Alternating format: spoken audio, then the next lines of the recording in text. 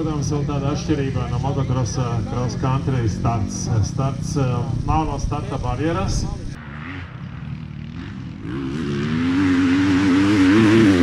Yeah.